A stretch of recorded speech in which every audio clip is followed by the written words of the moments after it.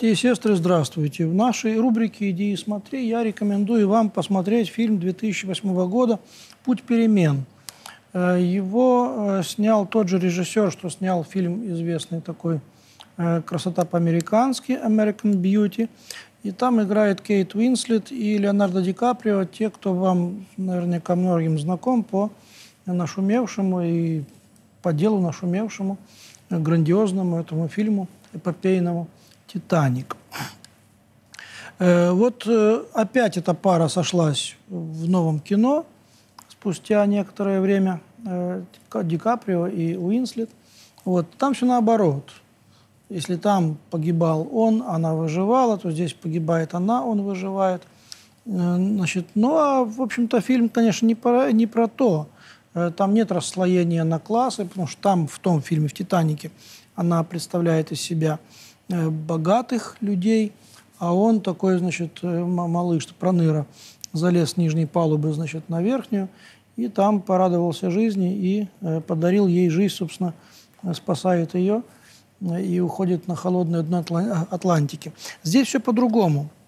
Здесь фильм, почему рекомендован быть может, потому что здесь видно, как человеческую, обычную, хорошую жизнь разрушает когда дурная мечта.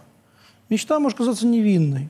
То есть давай, например, там, поедем там, в Париж – ну куда еще э, жлобу поехать, как не в Париж? То есть Париж тянет себе всех, э, вот уже одной там э, магией своего имени.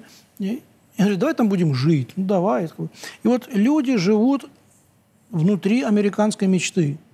Американская мечта, напомню вам, это попытка жить э, в своем доме, зарабатывать своими руками там, или своим умом э, на все необходимые нужды, иметь семью, детей – некую будущность, родовое гнездо и верить в Бога так, как ты хочешь.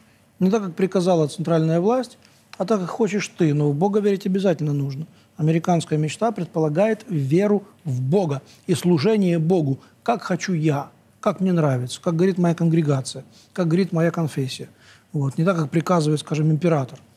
Вот. Это американская мечта. То есть лужайка постриженная, детишки резвящиеся, муж с женой, пьющий вечерний коктейль, уставший от работы. Вот, закатное солнце, огромные просторы, церквушка наша, вот, невдалеке. Это американская мечта. Вот внутри этой американской мечты живут герои «Титаника». Леонардо Ди Каприо и Кейт Уинслет. То есть их герои. Вот. Но им там тошно, то есть они желают взорвать эту мечту изнутри, потому что им кажется это пошлым очень.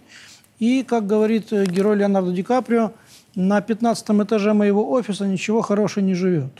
То есть там нет ничего хорошего, какая перспектива может быть у меня. Он сообщает своим друзьям, говорит, ну а что хорошего здесь?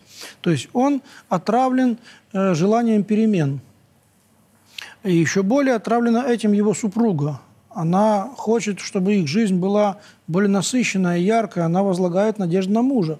То есть ты мужчина, то есть ты э, добытчик, хозяин, так сказать, ты агрессор, так сказать, ты в этом мире самый сильный. Давай, у тебя есть скрытые таланты. Мы все продадим и уедем.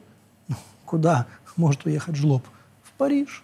Куда? Он уже не знает слова Марсель, например, там, или слово там, Боро, не знаю, Бургундия, Нормандия, Шампань или Прованс. Э, эти слова ему неизвестны. Ну, в Париж, конечно, куда же еще. В Англию скучно ехать, там все по-английски разговаривают. Вот, Италия слишком бедна. Вот, а Пари... Э, Германия только что разрушена войной. Фильм происходит, э, так сказать, действие фильма в годах 50-х. Вот, поэтому куда еще остается ехать? Ну, конечно, только в Париж. Не в бедную же Латинскую Америку.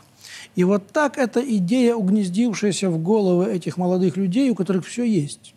Дом, дети, работа, семья, хороший автомобиль, э, постриженная лужайка, распрыскивающий воду э, веер, так сказать, этот шланговый.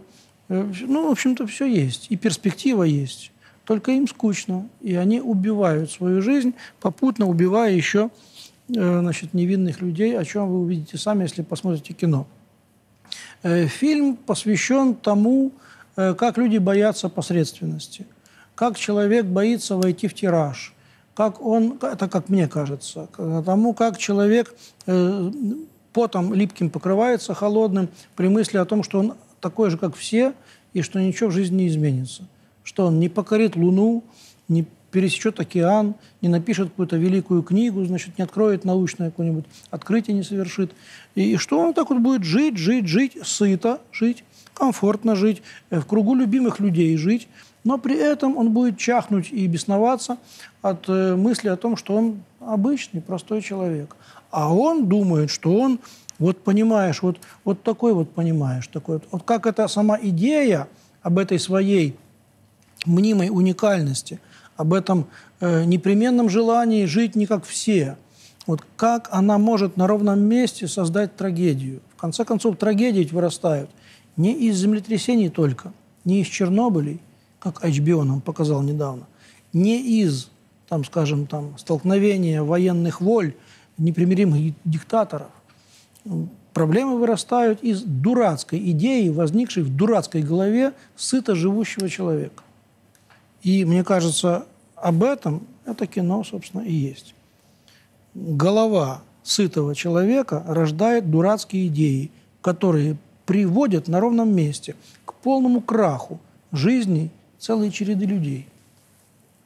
Гениальное кино, и мне, честно говоря, стала интересная фильмография, вообще вся фильмография этого режиссера, поскольку он умеет э, погрузиться в быт, ему не нужна война или нашествие значит, инопланетян для того, чтобы создать драму. Ему нужна простая семья с простыми тараканами в простой голове. Э, рекомендую, да, всем тем, кто особенно мечтать любит. Посмотрите, как мечты убивают простую, теплую, сытую реальность. До свидания.